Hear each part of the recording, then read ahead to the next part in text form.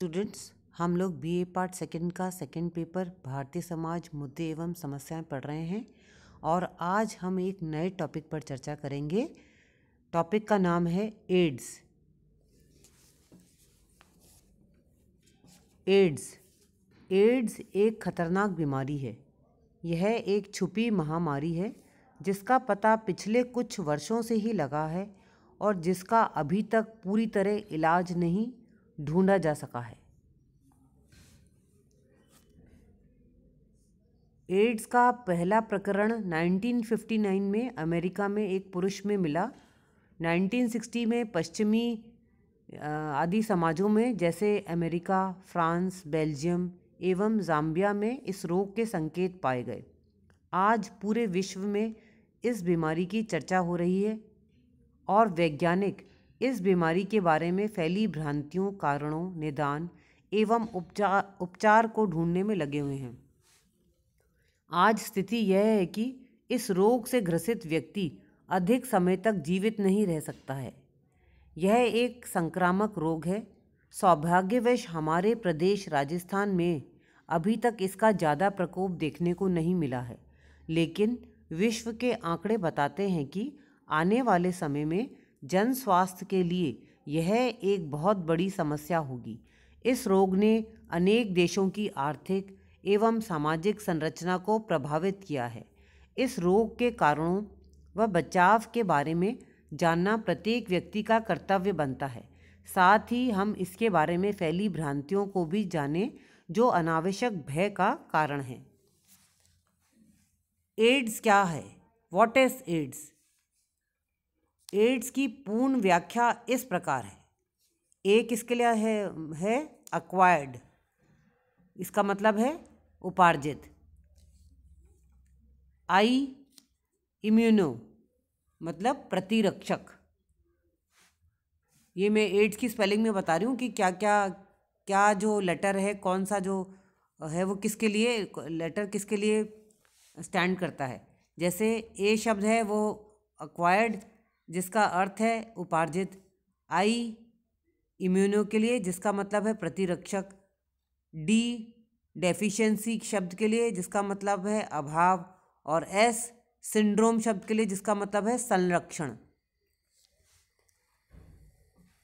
इस प्रकार से इस बीमारी का पूरा नाम एक्वायर्ड इम्यूनो डेफिशिएंसी सिंड्रोम।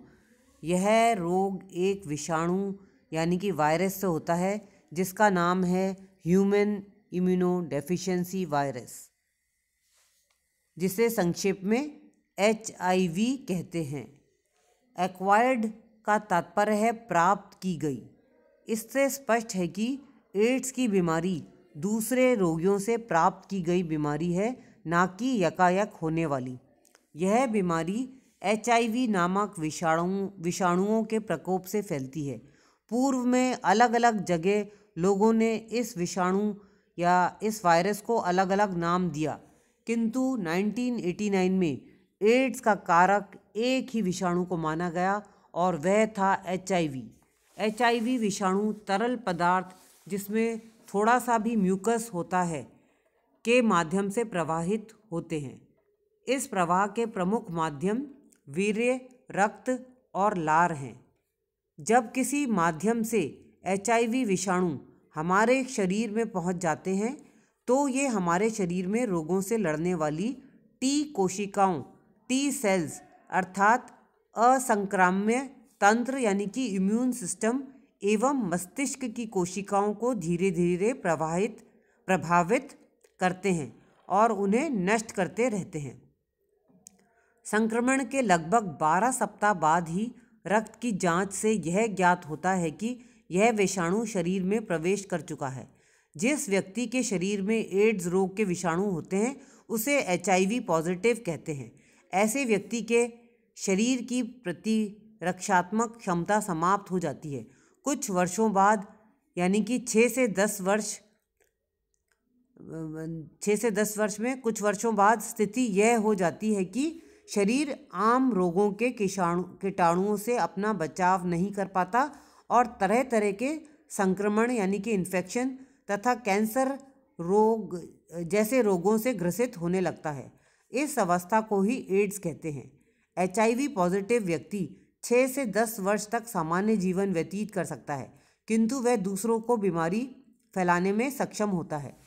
इस रोग को हम इस प्रकार से भी समझ सकते हैं। जिस प्रकार से किसी देश का सैन्य बल समाप्त होने पर वह देश कमज़ोर हो जाता है और कोई भी बाह्य शक्ति उस पर आक्रमण कर उस पर विजय पा सकती है अथवा उसे नष्ट कर सकती है, ठीक उसी प्रकार से एचआईवी विषाणु द्वारा शरीर की प्रति रक्षात्मक क्षमता नष्ट कर दी जाने पर प्रत्येक छोटी मोटी बीमारी के विषाणु एवं कीटाणु शरीर में प्रवेश कर उस पर अपना आधिपत्य जमाने लगते हैं और व्यक्ति एक साथ कई रोगों से ग्रसित हो जाता है। अंततः उसकी मृत्यु हो जाती है। एक बार एचआईवी विषाणु से संक्रमित होने का अर्थ है, जीवन भर का संक्रमण एवं अकाल मृत्यु। एड्स से मृत्यु अत्यंत पीड़ादायक होती है। एड्स का अभी तक कोई उपचार एवं बचाव का टीका नहीं है। अब हम चर्चा करेंगे एड्स की उत्पत्ति के सिद्धांत के बारे में। Theories of the origin of AIDS.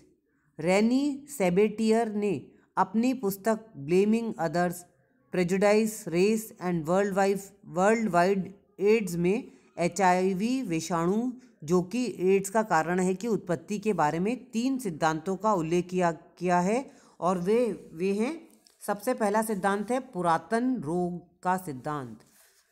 सेबिटियर का मत है कि एड्स एक पुराना रोग है जिसके बारे में लोगों को पहले से ज्ञात नहीं था।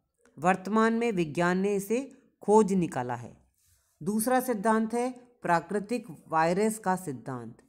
एक मान्यता यह है कि एड्स मानव के अलावा अन्य नस्ल जैसे बंदर, लंगूर, चिंपैंजी औरंगुटान आदि में पाए जाने वाली प्राकृतिक वायरस बीमारी से पैदा हुआ है। और तीसरा सिद्धांत है प्रयोगशाला सिद्धांत।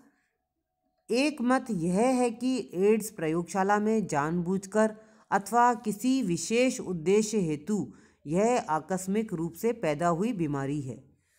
यहाँ यह बताना आवश्यक है कि अभी तक एड्स एक लाइलाज रोग माना जाता है और वैज्ञानिक इसके उपचार हेतु टीका एवं दवाइयों की खोज में निरंतर प्रयत्नशील हैं। एड्स के विषाणु कहाँ रहते हैं? एड्स के विषाणुओं के रहने के प्रमुख स्थान हैं। पहला है रोगी के वेरे में, दूसरा है रोगी के रक्त में, तीसरा रोगी द्वारा प्रयुक्त की गई सिरिंज सुइयों में और चौथा है रोगी के अंग प्रत्यंग में। अब हम चर्चा करेंगे एड्स रोग के लक्षण के बारे में सिम्टम्स ऑफ़ एड्स किसी व्यक्ति को एड्स रोग है, इसका पता छोटे बड़े लक्षणों से लगता है। रोग के छोटे लक्षण हैं। पहला, एक माह से अधिक समय तक खांसी का बना रहना। दूसरा, शरीर में खुजली होना। तीसरा, पूरे शरीर पर घाव हो जाना। चौथा, सारे शरीर पर फुंसियाँ हो जाना। पांचवा, मुँह और गले में खराश रहना। और छठा, दो या तीन महीने से ज़्यादा एक या दो जगह ग्रंथियों में सूजन बनी रहना। और रोग के बड़े लक्षण हैं। पहला, शरीर के वज़न का टेन परसेंट से अधिक घट जाना, यानी कि कमज़ोर हो जाना, वज़न घटना। एक से, दूसरा पॉइंट है, एक महीने से अधिक दिन तक बुखार बने रहना। तीसरा पॉइंट है, एक महीने से अधिक दिन तक दस्त बने रहना। और चौथा पॉइंट है, भारी थकान का निरंतर बने रहना। तो बच्चों आज की क्लास में बस इतना ही। आज जो मैंने पढ़ाया है, आप उसका अच्छे से अध्ययन कीजिएगा। धन्यवाद।